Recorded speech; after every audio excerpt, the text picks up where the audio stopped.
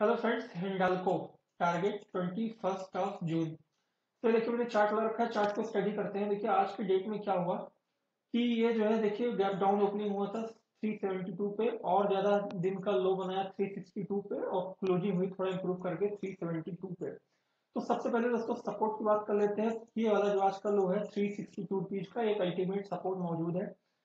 ऊपर की तरफ़ गया दोस्तों तो सबसे पहला टारगेट होगा इसका थ्री एट्टी रुपीज़ और थ्री एट्टी रुपीज़ क्रॉस करते ही सीधा आपको जो है थ्री एट्टी फाइव और ये जो है थ्री नाइन्टी रुपीज़ तक का आपको लेवल दिखा सकता है। तो दोस्तों, ये लेवल ध्यान यू